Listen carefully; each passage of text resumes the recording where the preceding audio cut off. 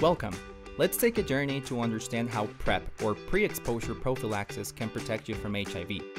We'll explore the science behind this powerful prevention tool. Oral PrEP are pills used to prevent HIV. But how exactly does it work? Once you take the pill, it dissolves in your stomach and gets absorbed into your bloodstream, where it travels to areas where HIV might enter, like genital and rectal tissues. PrEP is made up of two main medications, tenofovir and emtricitabine.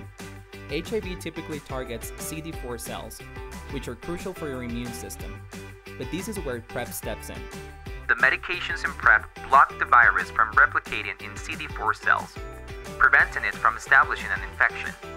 By stopping HIV from copying itself inside your CD4 cells, eventually it dies off. This keeps your CD4 cells healthy and strong, effectively preventing HIV from spreading and thus transmission. PrEP is highly effective when taken as prescribed. It's a powerful tool that allows you to take control of your sexual health and live without fear. For those who prefer not to take a daily pill, there's an alternative called PrEP on demand or event based PrEP.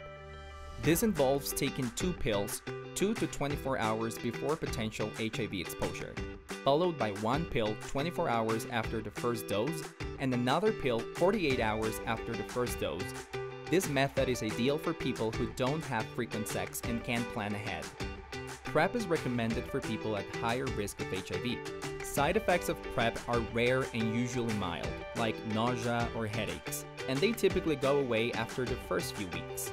The best part, PrEP is over 90% effective at preventing HIV when taken as prescribed.